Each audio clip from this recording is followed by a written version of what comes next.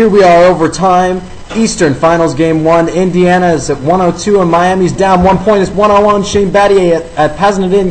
LeBron James drives to the basket. He makes the layup. The Heat have won the game. A buzzer beater. Miami wins game one of the Eastern Conference Finals 103 to 102.